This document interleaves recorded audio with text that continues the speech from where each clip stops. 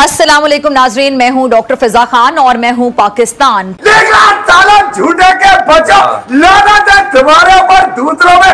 अपने तो चलते नहीं कारतूस सारे फूस फूस पटाखे तुम लोग लेके उतर गए। मैं तो समझता हूँ कि मेरे ख्याल में इस बार जिस तरीके की क्रिकेट खेले हैं वो लोग Yes. मेरी नज़र में तो चैंपियन वही है इस वक्त। लेकिन दाद देनी पड़ेगी सबसे पहले रोहित शर्मा को कि जैसे वो टोन सेट करते हैं आते ही बनाते हैं वो। दूसरे तीसरे बॉल से वे जो है अटैक कर देते हैं। तो वो जो थो, जो थोड़ा बहुत जिसको कहते हैं ना कि एडवांटेज अगर नए बॉल का उठाना भी है तो वो पहले से ही टीम अंडर प्रेशर होती है। पहले हम लोग सोचते थे यार ग्रेट सचिन तेंदुलकर के पचास सौ है कौन तोड़ेगा? कौन तोड़ेगा? सही बात है। ठीक है तो सोचते ही बंदा थक जाता है। वो कर करके नहीं थक रहा तो अब अनबिलीवेबल अचीवमेंट है। और ये पर्ची लिखिए और फाड़ दीजिए पर्ची और इंडिया को नंबर वन करार दीजिए वर्ल्ड कप इनको दे दीजिए। पाकिस्तानियों के लिए सिर्फ़ इतना कहना चाहता हूँ कि जो जो सुराख आप लोगों का जल रहा है उस पर बर्नौल लगा दो।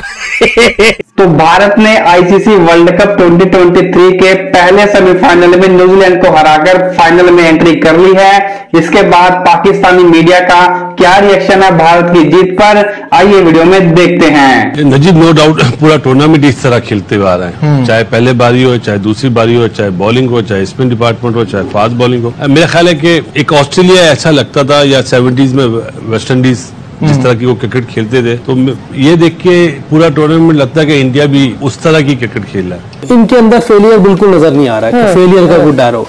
जिस तरह की क्रिकेट वो खेल रहे हैं। रन तो बनाने पड़ते हैं ना भाई। ये चेन्नई में मारकर हम भी तो दिया था। कैसे बना तो दिए चेन्नई में- विराट ने खड़े होके सारे हम उधर ही चले गए, हम उधर ही चले जाएँगे, सही कह रहे हो। लिख लो ऐसी की तेज़ी हमें रन तो बनाने पड़ते हैं। तेज है स्लो है काली है पीली है नीली है। देख लो सालों झूठे के बचो। है। तुम्हारे ऊपर दूसरों में। अपने तो चलते नहीं कारतूस सारे फूस फूस पटाखे तुम लोग लेके उतर गए। और दूसरे के चलते में तुम्हें जेलसी देते कीड़े काटते तुम्हारे।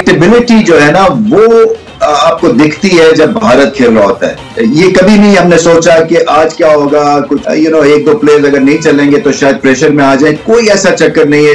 Through out world cup campaign में लग रहा है कि ये इतने जीतने के हिसाब से प्रिडिक्टेबल है, जो कि बहुत कम टीम्स इस तरह की फ़ेज़ में होती है, इस तरह के जोन में होती है। टीम बेनतहा बड़ी है और फोकस नहीं ड्रॉप किया है। हम पास में ज़्यादा रहते हैं प्रेजेंट में हमारा वो मुकाम नहीं है, जो कि भारत का खास तौर पे। और बॉलिंग में तो आप सारों ने एक एक नई तारीख रकम कर दी है लिटरली मतलब मैंने इतनी स्ट्रांग बॉलिंग लाइनअप भारत की कभी भी नहीं देखी। देखिए आप ये देखिए कि उनके एक मेन प्लेयर बात यह है कि कॉम्बिनेशन कितना स्ट्रांग है उनकी बेंच कितनी तगड़ी कि एक पांडे निकल गया तो वो हमारी टीम में होता वो यार वो चला गया वो तो बैटिंग भी करता था बॉलिंग भी करता था फ़िल्टर भी अच्छा था। अब किसको लें क्या? नहीं जी उनके पास चॉइस थी। उन्होंने तीन जेनवन फास्ट बॉलर और दो जेनवन स्पिनर्स के साथ गए। ठीक है ना? उन्हें कहीं ज़रूरत ही नहीं बनी पड़ी। हाँ एक एक ओवर किसी से करा लिए लास्ट मैचों में वैसे ही एक्सपेरिमेंट के तौर पे। लेकिन इतने ज़बरदस्त जिस तरह यूसुफ कह रहा है बहुत ज़बरदस्त कॉन्फिडेंस के साथ इस वक्त टीम कॉन्फिडेंट लग रही है।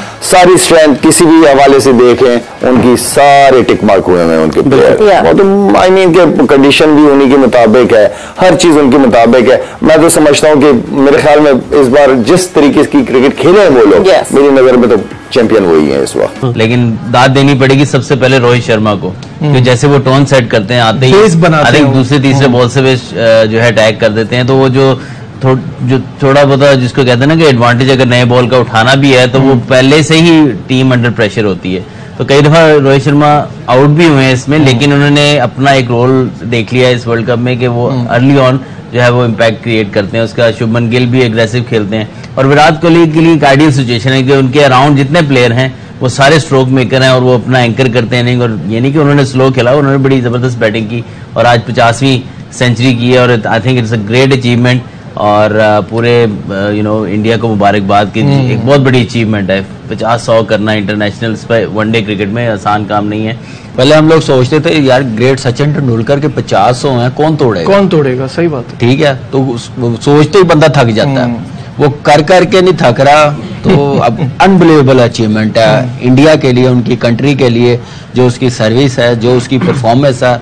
मेरे ख्याल से ये परफॉर्मेंस क्रिकेट जब तक है ये भूलेगी नहीं। और मेरा ख्याल जो इसकी परफॉर्मेंस है ना उसको तोड़ने के लिए फिर वो कोई अलग ही इससे बड़ा प्लेयर आएगा जो अभी तक क्रिकेट हिस्ट्री में मुझे नहीं लगा कोई आएगा जिस- उसके हंड्रेड बन गए और इसमें सबसे मज़े की बात यह है कि सचिन तेंदुलकर ग्राउंड में मौजूद है दोनों भी हंड्रेड हाँ। तेंदुलकर ग्राउंड में था फिफ्टी हंड्रेड भी बनाया।